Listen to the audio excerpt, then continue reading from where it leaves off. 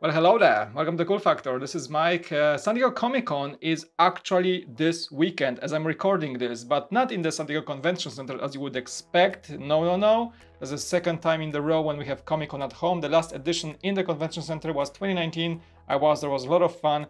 But second year in a row, we have Comic Con at home. And I want to just focus in this video on Lego because Lego is part of the exhibitors list and uh, well, I did record a short session during our live stream today. So uh, let's let, hope you guys will appreciate what I had to say. All right, so this is Comic Con in your own page. You can go there and watch the exhibits. I'm not gonna delve into this, what's going on, but let me just do one thing. Lego is an exhibitor. Lego is an exhibitor on Comic Con. Wait, before we jump to where are the exclusive Lego minifigs? Collectibles from San Diego Comic Con. No, wait, click exhibitors. We go, yeah, we go here, Lego group, click Lego, and you expect, wow, it's gonna be something amazing if it's gonna be something exclusive.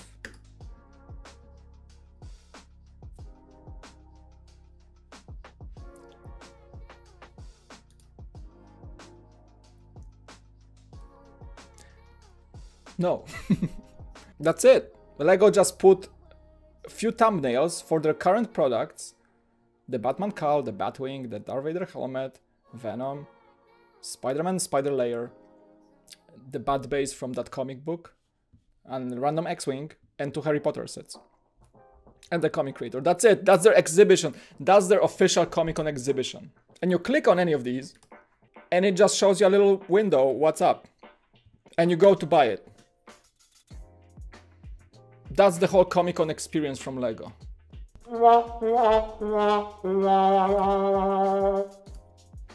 And we were like, wow, they were gonna make you do a raffle for exclusive minifigures. No. They just had a Comic Con landing page with terrible, by the way, the graphics are so low resolution. And you just click on it, they chose like a random bunch of products, and you go and you click and you just go to buy it. That's it. That's the whole LEGO Comic Con. That's why they're exhibitor on LEGO Comic Con at home. you see my sigh there? You see that? Like, you know why? I was excited. I, I, saw LEGO Group in the exhibitor list. Like, wow, like maybe I can click and, and, and enter a raffle like every Comic Con ever to find uh, uh, my name on a list for a really cool exclusive minifigure. No. cool. No. Oh no! Anyway, last week. This is just, just that's, that's it. That's it.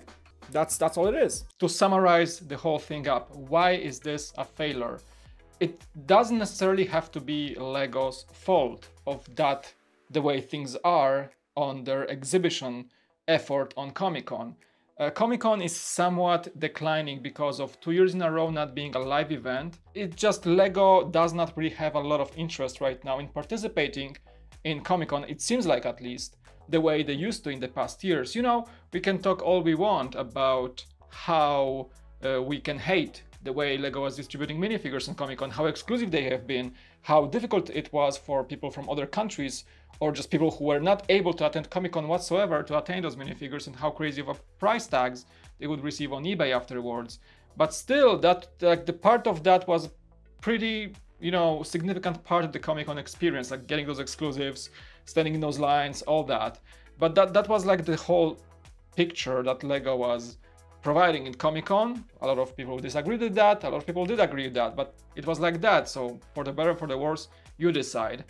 I just feel that Lego doing such a lackluster uh, presentation exhibitor page just you know, honestly, like picking few Batman sets and just doing a random X-Wing, some Harry Potter, and that comic book maker from basically two years ago without any change, because I remember exactly how it was in the past.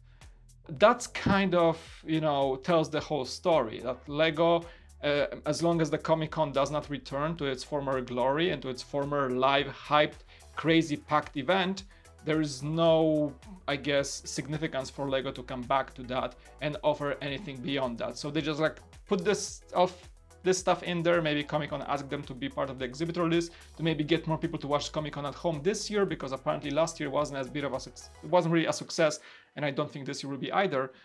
But it's it, it felt pushed. It felt like something that Lego didn't really want to do, and they just like put a bunch of products randomly that's kind of connected to Comic Con through a buy link, and that's pretty much it. That's the whole Comic Con 2021 experience from Lego.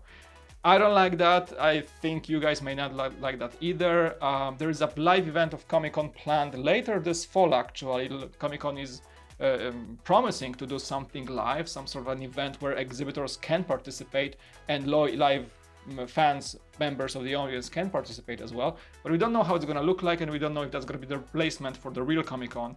Because apparently, from all the rumors and all the discussion, the Comic Con as an event, as a full convention center packed event that blocks San Diego for the whole weekend, will not return at least until 2023, most likely. So we'll see if LEGO will come back with some cool stuff then. Uh, well, let me know now in the comment section below what you think, uh, kind of like an opinion-based video. Uh, Comic-Con is close and dear to my heart, so I had to say something about it, seeing that lackluster of an exhibitor response from LEGO, uh, and I just hope it's gonna come back to somewhat normal. You know, if they even never ever get exclusive minifigures back into the San Diego Comic-Con uh, venue, at least their booth was something to look forward to. Usually those were sets, early releases, a full uh, showcase of certain sets coming usually a month or two after Comic Con, so that was always something to look forward to, despite the exclusiveness of the minifigures and all that. So I hope that for return, but for now, this is what we're getting. Let me know in the comment section below what you think, uh, hit the like, subscribe and all that, and I'll see you in the next video. Peace out, bye.